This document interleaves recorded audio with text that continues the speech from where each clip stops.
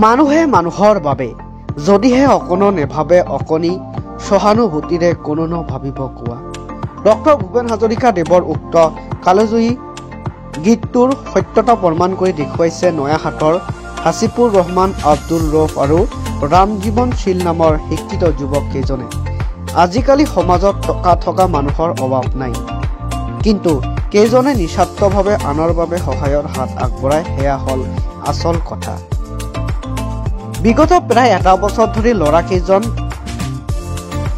অভাৱী হোৱা সত্ত্বেও নিজৰ কাঠিত ধন ভাঙি বৰ্তমানলৈকে ধুবুৰী জিলাৰ ইমূৰৰ পৰা সিমূৰলৈকে মানসিকভাৱে বিকাৰগ্ৰস্ত লোকক বিচাৰি তেওঁলোকক পাই পয় পৰিষ্কাৰ কৰি দি খুৱাই বোৱাই নতুন বস্ত্ৰ পৰিধান কৰাই যি মহানুভৱতা নিৰ্দেশন দাঙি ধৰিছে ইয়াক শত শত ৰাইজে শলাগিছে এই যুৱক কেইজনৰ উক্ত ব্যতিক্ৰমী প্ৰচেষ্টাৰ ফলত আজিৰ তাৰিখত ক'বলৈ গ'লে বিশেষকৈ বিলাসীপাৰা মহকুমাৰ ভিতৰত ভাগত অপৰিষ্কাৰ মস্তিষ্ক বিকাৰগ্ৰস্ত নাইকিয়া হৈ পৰিছে।